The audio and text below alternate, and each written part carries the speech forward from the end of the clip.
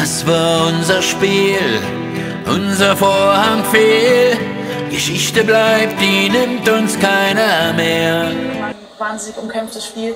Aber so ist es im Handball, da geht es schnell und da kann eben in den letzten zwei Sekunden nochmal ein Tor fallen und so äh, kann Magdeburg die zwei Punkte mitnehmen. Ja, absolut. Also man hat jetzt gesehen, ähm, das ist 15 Sekunden vor Schluss, das ist do or die, entweder er macht den Ball oder der Torwart hält ihn und so hält Janik Rehn den Ball fest und ähm, gibt so seiner Mannschaft die Chance, den Sieg zu mhm den Siegtreffer zu erzielen. Und dann mit dem letzten Tor eine Sekunde vor Schluss das Spiel noch zu verlieren mit einem Tor, das ist sehr, sehr bitter. Aber so ist der Sport. Ähm, für die einen ist es äh, Freude, für die anderen ist es Leid. Das gehört nun mal dazu, aber für heute wird das erstmal ganz schön bitter sein. Mhm. Heide Schmelzer, ich bedanke mich bei Ihnen, dass Sie heute bei uns waren. Ich wünsche Ihnen für die anstehenden schweren Aufgaben in der Meisterschaft im ERF Cup und natürlich auch dann bei der Nationalmannschaft in Japan bei der WM alles Gute.